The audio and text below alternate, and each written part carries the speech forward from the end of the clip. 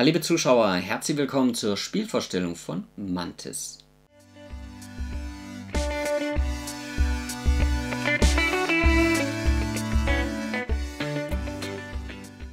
Und damit herzlich willkommen zur Spielvorstellung von Mantis. In diesem Video zeige ich euch die Abläufe.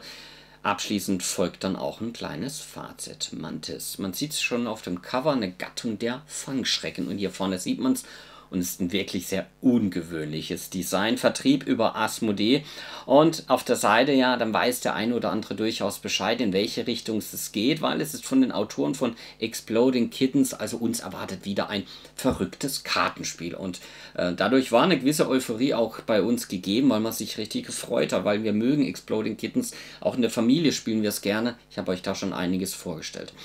Sieben Jahre steht hier dabei, wie bei den klassischen Exploding Kittens auch. Zwei bis sechs Personen, zehn Minuten. Partyspiel. Naja, dazu können wir uns im Fazit nochmal ein bisschen drüber unterhalten, auch was eure Meinung dazu ist. Kartenspiel dominiert, äh, hat ein Inlay, da passen wirklich alle Karten dabei rein. Recht große Verpackung auf jeden Fall für so ein Spiel. Auf der Rückseite steht auch schon dabei, wie es funktioniert. Also ihr merkt, das Spiel lässt sich recht zügig erklären. Und ich habe es auch schon aufgebaut. Hier seht ihr die Karten. Das heißt, ich habe es für zwei Personen aufgebaut. Jeder zieht vier Karten von diesem du gut durchgemischten Stapel und legt sie vor sich aus. Das ist quasi das eigene Aquarium. Hier liegen vier Karten, hier liegen vier Karten. Und äh, ja, jetzt muss ich euch nur die Aktion erklären, beziehungsweise die Karten euch vorstellen. Weil auf der Rückseite seht ihr hier drei Farben.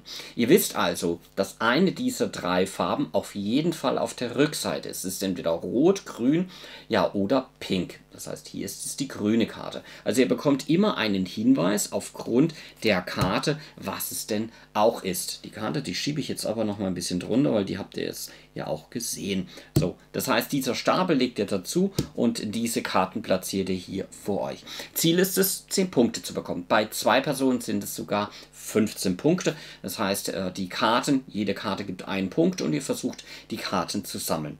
Und wenn ihr am Zug seid, dann habt ihr zwei unterschiedliche Möglichkeiten. Ihr wählt aus Punkten oder ihr wählt aus Klauen. Klaut ihr richtig in Zwei-Personen-Spiel, dann seid ihr sofort nochmal dran. Das als kleine Ergänzung. Das heißt, wenn ich jetzt am Zug bin und ähm, ja, ich habe meine Karten, dann kann ich mich entscheiden zu punkten. Bevor ich die Karte ziehe, muss ich aber sagen, möchtest du punkten oder möchtest du bei einem Mitspieler oder einer Mitspielerin klauen? So, hier liegt jetzt die Karte. Da liegt jetzt Orange drauf, Grün drauf und Rot drauf. Wenn ich sage Punkten, ziehe ich eine Karte und dann habe ich auch die Möglichkeit zu punkten. Bei Klauen nicht. Ich sage einfach, ich möchte gerne punkten. Ich nehme also die Karte, sehr schön. Die liegt bei mir bereits, das heißt, ich nehme alle drei Karten, lege sie verdeckt vor mich und das sind dann drei Punkte. Die könnt ihr stapeln. Aber den Mitspielern, wenn die fragen, solltet ihr immer sagen, wie viele Punkte ihr gerade habt, also wie viele Karten. Drei Punkte habe ich nämlich jetzt. Das heißt, diese Punkte, die kann mir niemand mehr nehmen. Hätte ich jetzt hier kein Orange in meiner Auslage und würde die ziehen, dann würde ich sie einfach dazulegen. Das ist doch schon alles. So, nächste Person ist dran. Ah, was liegt denn hier? Es liegt hier lila, gelb und rot. Hm, was mache ich denn? Naja, ich könnte jetzt sagen klauen, aber ich sage jetzt einfach mal punkten, damit ich hier ein paar Karten in meiner Auslage habe. Das heißt, ich sage äh, Punkten, im Vorfeld natürlich, bevor ich jetzt die Karte gezogen habe und die lege ich in meine Auslage.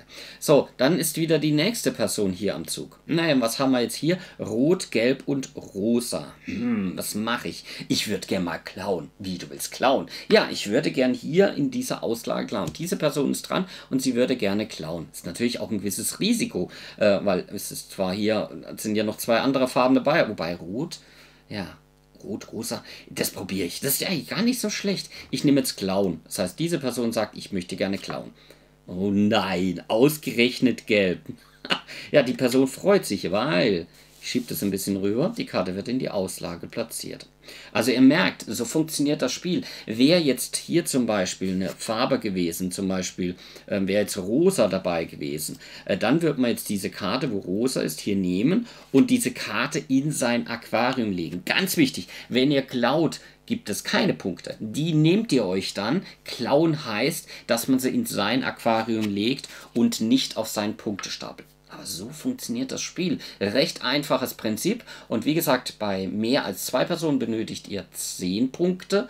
Und bei genau zwei Personen, wenn ihr zu zweit spielt, benötigt ihr 15 Punkte. Also recht flottes Spiel. Und wer zuerst die Punkte erreicht hat, der hat diejenige hat das Spiel gewonnen.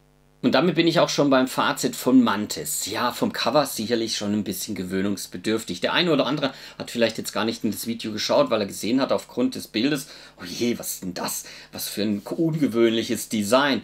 Und der eine oder andere ist extra reingeschaltet und schaut vielleicht an dieser Stelle das Fazit, weil er sagt, Mensch, sieht ja sehr ungewöhnlich aus vom Cover. Ich schaue mal das mal an, was der Jörg hier im Fazit sagt. Und Exploding Kittens habe ich am Anfang erwähnt. Oh, das ist ja auch cool. Das mögen wir auch. Schnelle, lustige Kartenspiele.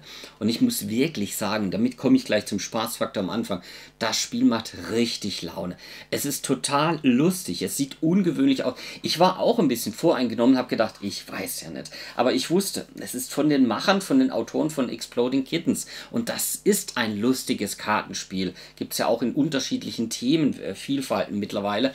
Und das Spiel macht auch richtig Laune. Und dadurch dadurch, dass unsere Erwartungshaltung ja eher gedeckt war, Exploding Kids, müssen wir uns anschauen, aber wo wir das gespielt haben, das macht echt Laune. Das ist lustig und das funktioniert sogar zu zweit sehr gut. Und das hat uns auch überrascht, wo man es zu zweit gespielt hat. Also zu zweit auch super, auch in größeren Runden bis zu sechs Personen, wo wir es zu dritt, zu viert gespielt haben. Das macht Laune und das ist einfach spaßig. Das hat uns echt positiv überrascht. Sieben Jahre steht hier dabei, es ist auch nicht schwer. Es ist ein bisschen gemein. Ja, aber die Gemeinheiten, die wechseln sich ja ab.